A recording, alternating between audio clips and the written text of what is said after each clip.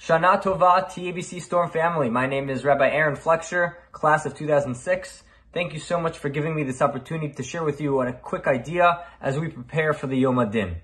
Imagine you have two men, Reuven and Shimon, and Reuven and Shimon are thrown into prison by the king himself. Reuven and Shimon are there sitting in the jail cell, and Reuven figures out a way to escape. Shimon decides, I'm going to stay behind. I'm not going to escape with you, Reuven. Good luck. The next morning, of course, the warden comes and he sees that Reuven is gone. He's not in the cell anymore, but Shimon is sitting there. And instead of rewarding Shimon for being honest and going out to find Reuven and punishing him when they find him, Reuven is praised for escaping and taking advantage of the opportunity that he found. And Shimon is beaten and punished. What's going on here? But this is the mashal of the Rabbeinu Yonah and Shaarei Teshuva. And the Rabbeinu Yonah tells us that Reuven, Reuven is the guy that takes advantage and escapes when he can. He does tshuva at the opportune time. And Shimon is punished. Why? We understand that Shimon is punished because he, instead of showing a sense of urgency and wanting to escape and wanting to get back closer to the king, he's complacent. He's very at ease with where he is.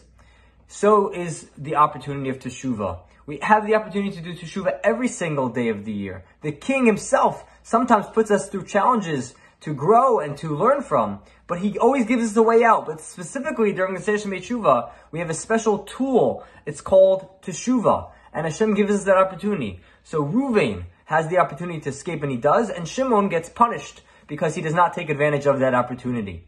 We know the famous Gemara Rosh Hashanah tells us that a Benoni on Rosh Hashanah, someone who's mechza mechza, he's 50% Averus, 50% mitzvos, that he waits until the Yom HaDin to decide if he's going to be put in the Sefer Hamaves or the Sefer Chaim. And the Gemara tells us if he does a mitzvah, then he will tip the scales in his favor. However, the Rambam tells us it's not enough just to do any random mitzvah. However, it's one mitzvah that helps you during the Sefer Tshuva, and that is the mitzvah of Teshuva itself. Not just putting a, a penny in the pushka or uh, putting on tefillin, but only the mitzvah of Teshuva helps the Benoni get sealed into the Sefer Chaim, into the book of life. Why?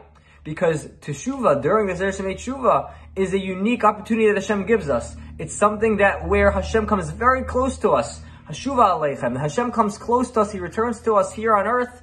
And he gives us the special way out. He's the king. He might have put us into that jail cell in the first place, but he also gives us the way out. And therefore, one who squanders, like Shimon, the opportunity to do tshuva, he's someone who would be put in the Sefer Hamavas because he shows that he does not take advantage, he does not appreciate the unique opportunity of Teshuvah that he has.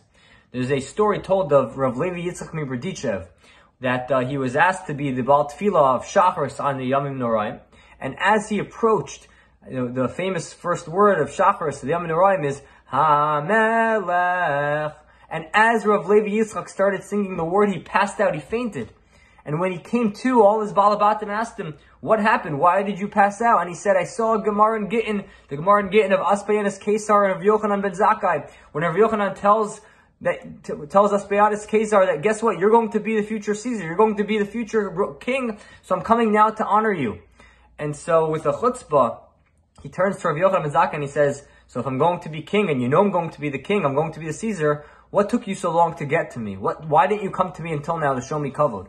So Rav Levi Yitzchak said, I thought of this Gemara and I thought we have all year to connect to the Ribono Shel Olam. We have all year to do Teshuvah. And I said a Melech, I realized, why did I wait until the last minute? Why did I wait until the last minute to do Shuvah? Why did I have to wait all the way until the Yisrael made Shuvah to take advantage of this opportunity? But such is life, that we procrastinate and we delay. But that's okay, Kadosh Baruch Hu says, because during this Ersem Tshuva, I'm giving you a very special deal, a special opportunity Come and return to me, Hashiveinu Hashem Kedem. We say, Hashem, return us, return us back to you. Bring us back to you. But Kedem tells us what? Hashem, make it as if we were here all along. Bring us back, accept our teshuva as if we did our teshuva on time. We know that we're doing it at the last second, we're procrastinating, we're getting teshuva in at the last second, but treat our teshuva as if we did it in a timely fashion. May we all have a uplifting and uh, inspirational Yomim Noraim Yom HaDin. Wishing everyone a Gemar Chasima Tova. Thank you.